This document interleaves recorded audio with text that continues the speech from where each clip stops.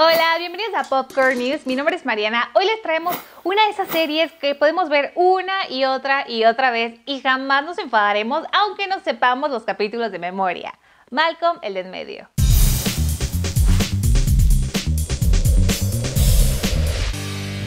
Malcolm.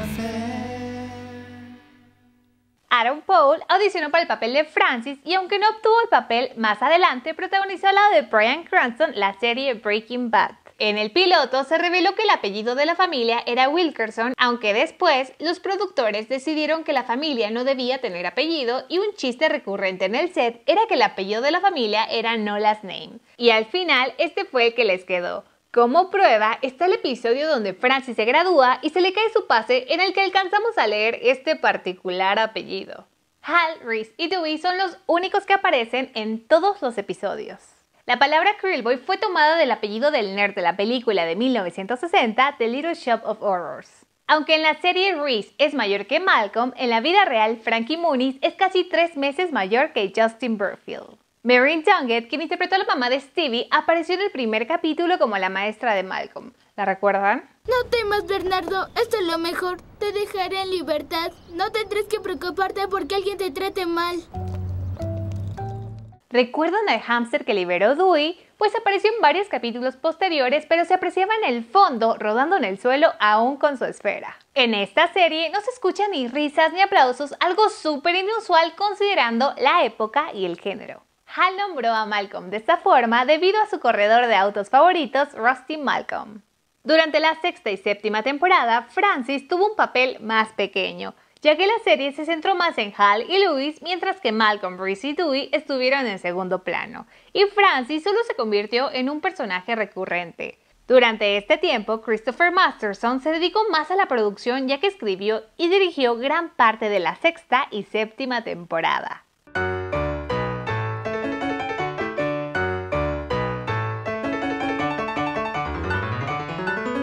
Al parecer, en esta familia todos los hijos tienen un don. Reese es un gran cocinero, Dewey es un músico prodigio y Malcolm es un genio. ¿Cuál creen que sea el de Francis y el de Jamie? En el episodio donde Reese hace una fiesta mientras Hal y Louis salieron de la ciudad, unos tipos se adueñan de su garage y hacen una especie de laboratorio de metanfetamina, la misma droga que prepara Walter White en Breaking Bad.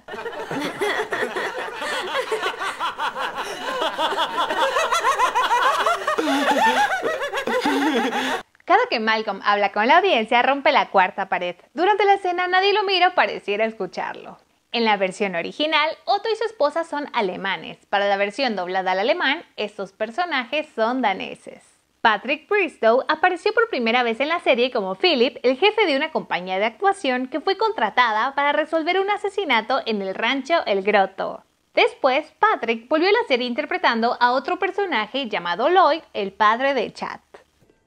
Una habitación para Sir Reginald Drake y su vengativa y alcohólica esposa, Evelyn. Tal vez algunos sentimos intriga por saber de dónde venían esas imágenes random que aparecían en el opening. Yo aquí les contaré de algunas. La canción del opening fue escrita e interpretada por el grupo They Might Be Giants. Este monstruo pertenece a la película de 1982 Furia de Titanes. Esta imagen pertenece al anime japonés Nazca. La pareja que se está besando y de repente es atacada por un monstruo pertenece a la película de 1961 Creature from the Haunted Sea. El boxeador que golpea al referee es Pedro Cárdenas. Esto fue algo accidental durante la lucha con Willy DeWitt. Este combate se llevó a cabo en 1982 en Las Vegas en el Campeonato de América del Norte.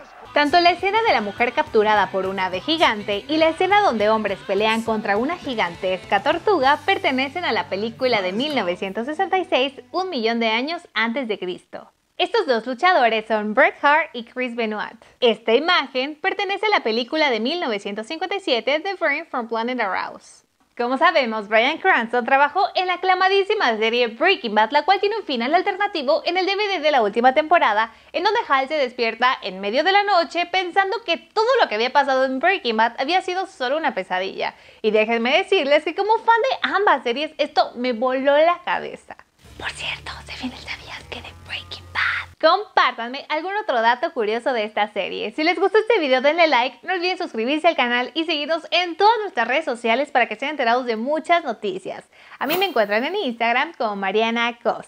Por mi parte es todo, nos vemos en el próximo Popcorn News.